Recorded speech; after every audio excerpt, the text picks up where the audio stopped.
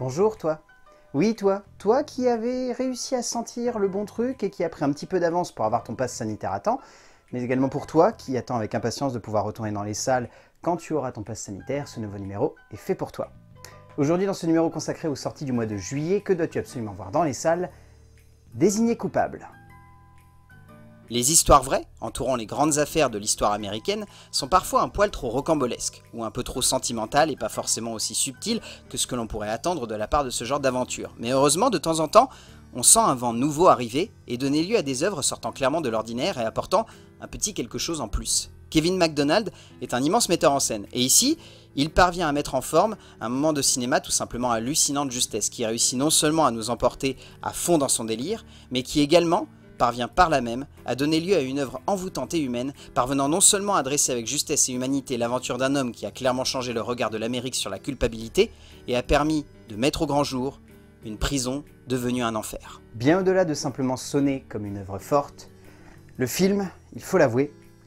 est un véritable percute. MacDonald a toujours aimé mêler le monde du documentaire et celui de la fiction, pour coller le plus possible à ce que celui-ci peut avoir de plus crédible et à ce que celle-ci peut avoir de plus intense à vivre sur un écran de cinéma. La combinaison ici est saisissante, d'une grande force, dotée d'une forme cinématographique rare, où le cinéaste anglais parvient à donner tout ce qu'il a de génial et de créatif, le temps d'un instant de cinéma résonnant comme la promesse d'un auteur, cherchant non seulement à rendre un hommage vibrant à un homme rare, mais également à montrer la cruauté d'une époque ressemblant terriblement à une chasse aux sorcières. En traitant son personnage ainsi, en lui apportant une forme de mystère, mais en l'accrochant également à la base même de son récit, le cinéaste parvient à donner lieu à un moment de cinéma tout simplement magnifique, qui nous passionne de bout en bout et qui parvient à être maîtrisé et intense à chaque seconde. En plus de cela, McDonald peut compter sur son casting pour nous embarquer dans ce périple jusqu'au bout. Bien sûr, il y a la grande Jodie Foster, tout simplement bluffante à chaque seconde, d'une œuvre qu'elle emporte avec forme et force. Benedict Cumberbatch est également particulièrement soigné et intense dans un rôle